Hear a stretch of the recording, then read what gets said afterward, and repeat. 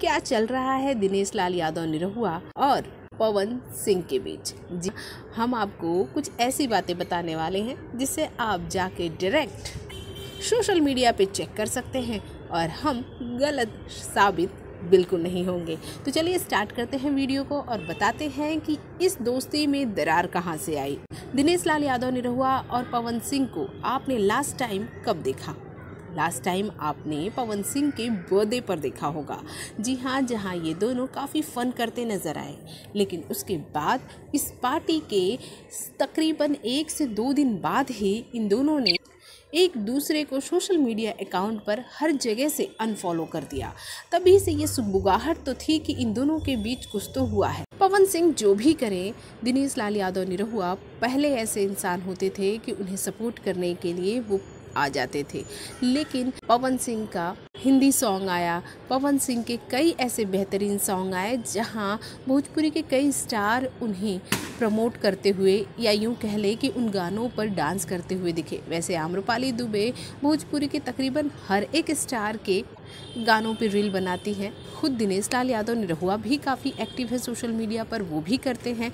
लेकिन जब पवन सिंह की बात आई तो पवन सिंह के गानों पर न रील बनी, न उन्हें कामयाबी की शुभकामनाएँ दी गई तो फिर सभी का दिमाग ठनका। आखिर इनके बीच चल क्या रहा है? वैसे बताया जा रहा है कि पवन के पार्टी के दौरान ही दिनेश लाल यादव निरहुआ पवन सिंह के बीच किसी बात को लेकर हल्की कहा सुनी तो हुई थी, लेकिन बाद में आम्रपाली दुबे ने जैसे ही खेसारी लाल यादव के साथ फ़िल्म साइन की और लगातार खेसारी लाल यादव के साथ उनके प्रोजेक्ट्स में शामिल हुई, उसे देखने के बाद पवन सिंह की नाराज़गी जग ज़ाहिर थी।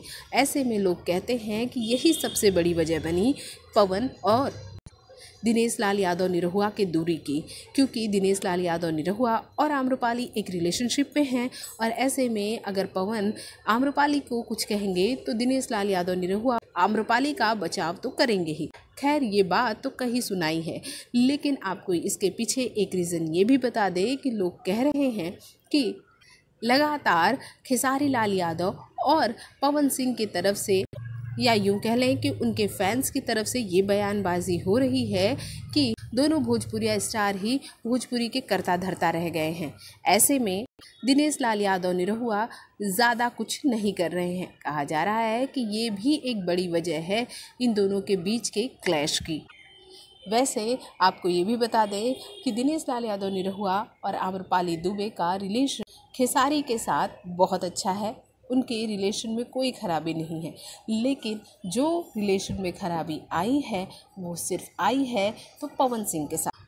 तो क्या कहना चाहिए तो क्या इसके लिए आम्रपाली का खेसारी के साथ फ़िल्म करना जिम्मेदार है? दिनेश लाल यादव निरहुआ और पवन सिंह के बिगड़ते रिश्ते को लेकर या फिर पवन सिंह की बढ़ती लोकप्रियता और बढ़ता स्टारडम हमारे कमेंट बॉक्स में कमेंट करके ज़रूर बताइए। भोजपुरी जगत की हॉट और मसालेदार गॉसिप के लिए हमें सब्सक्राइब करना बिल्कुल ना